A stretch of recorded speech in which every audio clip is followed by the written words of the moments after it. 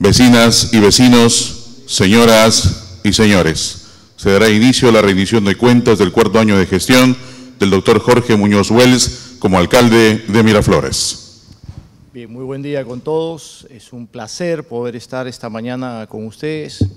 Estamos llegando a nuestra cuarta rendición de cuentas anual y si tomamos en cuenta la que hicimos a los 100 días es la quinta rendición de cuentas. Nosotros comenzamos con un nivel de deuda, grosso modo, de 58 millones de soles.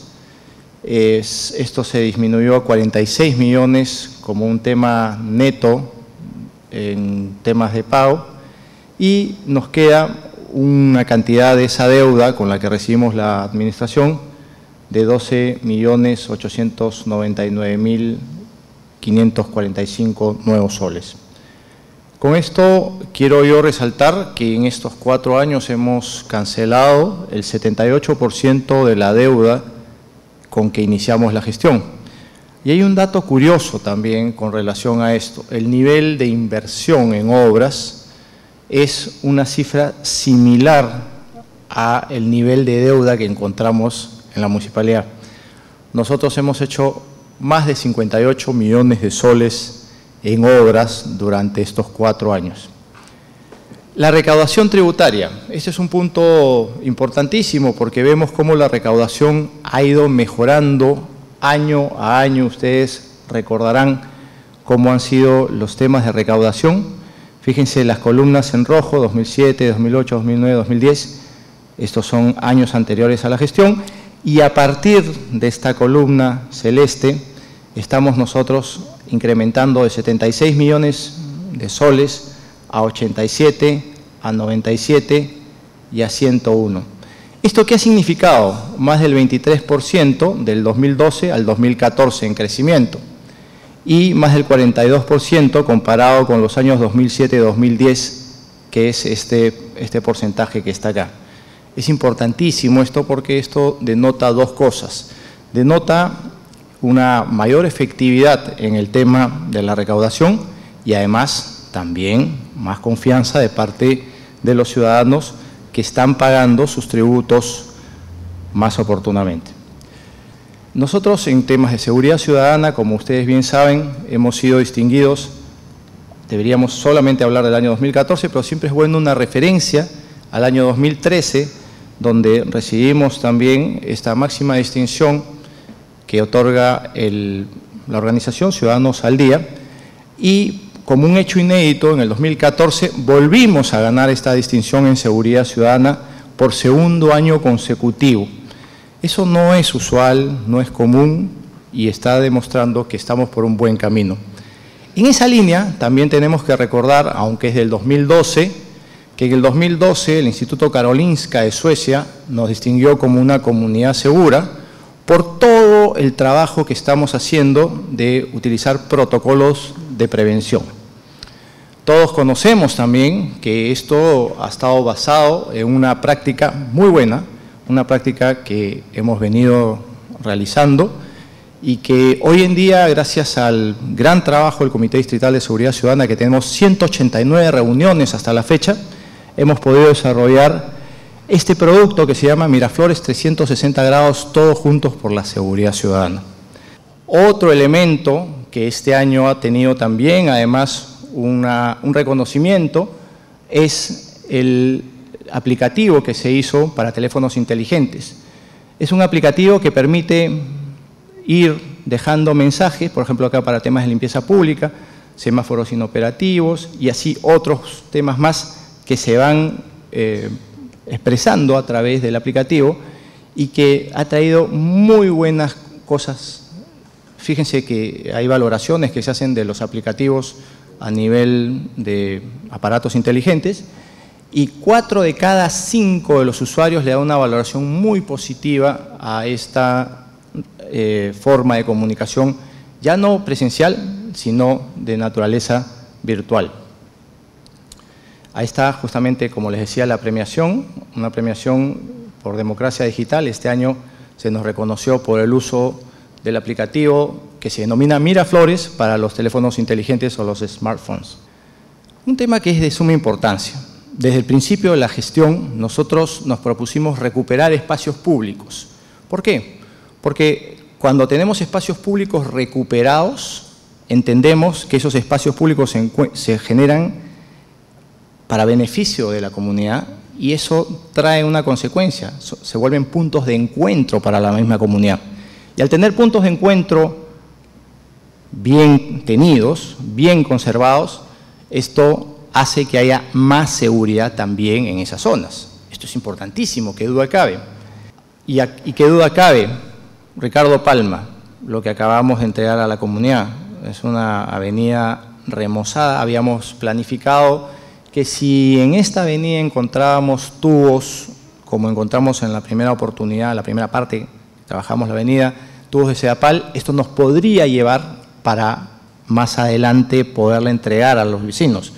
Pero gracias a Dios no encontramos ni la tubería de Sedapal, ni tuvimos las dificultades que sí se pudieron presentar en la primera parte de la obra. Ya hemos entregado a la comunidad la avenida Ricardo Palma en su totalidad. Y esto es algo que nos llena de orgullo porque habíamos planificado que íbamos a llegar probablemente a febrero, le hemos entregado ahora en diciembre, antes de Navidad, Ricardo Palma, que es, como dije hace un momento, una obra que es una maravilla. Y también de cuidado de algunos espacios de las casas. Nosotros los peruanos tenemos una tendencia a acumular en los techos. Entonces tenemos que cambiar ese chip. Pero mientras que lo vamos cambiando, tenemos que ofrecer también una alternativa de limpieza con estos programas de cuidado y limpieza de techo. Ahí llega un programa que es muy importante también para nosotros y que lo queremos muchísimo. Basura que no es basura. Este programa de basura que no es basura que se creó en, en el área 6 del distrito y se creó como un tema experimental, ha ido creciendo a todo el distrito y de manera voluntaria las personas pueden segregar en la fuente. Se han recogido este año más de 351 toneladas de desechos que tienen o que pueden tener un valor cuando esto es reciclado. Quiero mencionarles que el área de medio ambiente eh, ha sido un área muy exitosa en el, distrito durante el año 2015. Algunas cosas que se han obtenido. Por ejemplo, y voy a comenzar por un premio que a mí me pareció muy bueno, obtuvimos este año por el programa fundamentalmente de basura, que no es basura, un premio Escoba de Plata en España. Esto se suma a los premios que Basura, que no es basura, ha venido recibiendo durante otros años por parte de Ciudadanos al Día y algunas otras instituciones. Pero este año recibimos este, este premio, reitero, denominado Escoba de Plata en eh, Madrid, España, y se llama Escoba de Plata no es porque haya sido de segundo lugar, sino que es, le llaman de plata a poblaciones que tienen 100.000 habitantes o menos, y en ese, es el, ese es el caso de Miraflores. También recibimos este año el premio de responsabilidad ambiental de una institución GISJA que lo va dando año a año, lo da a algunos medios de comunicación, algunas instituciones públicas, etcétera, pero con mucho orgullo puedo decir que por segundo año consecutivo lo hemos recibido. Y de cara a lo que fue la COP20, este año el Ministerio del Ambiente nos distinguió como una gestión ambiental local sostenible, de ahí la cifra GALS, Gestión Ambiental Local Sostenible 2014. Hemos sido el único municipio que ha obtenido ese, ese reconocimiento y esto viene también de la mano con una actividad o una certificación que se hace en España y este año 2014 se nos ha calificado como una buena práctica ambiental a todo nuestro trabajo con un programa que se llama Corresponsables, no corresponsables, sino corresponsables y también ha sido entregada en España a la Municipalidad de Miraflores. Bien, no solamente tenemos esos avances, sino que durante el año 2014 nos hemos distinguido por ser un distrito claramente cultural ustedes pueden apreciar algunas intervenciones que tenemos aquí graficadas. Tuvimos siete intervenciones o siete puntos distintos del distrito donde un artista, cuyo nombre artístico es Marco Sueño, tomó fotografías en algunos lugares con personajes o personas de la zona y después los terminó plasmando. Comenzamos con un ojo, pero eso fue el año pasado, un ojo en, Santa Cruz, muy cercano, con, fotografías de personas del mercado de Santa Cruz, y que se hizo un ojo que era, digamos, daba el mensaje de que desde ahí se estaba mirando a la comunidad. Se puso encima del módulo de seguridad ciudadana de Santa Cruz y ese era el mensaje de seguridad ciudadana. Pero las muestras de arte en el distrito han sido muchísimas, muchísimas muestras. Eh, hemos trabajado en tres galerías, 36 muestras este año 2014, son muchas muestras realmente, y eso nos da para este año 2014 más de 140.000, 145.000 visitas.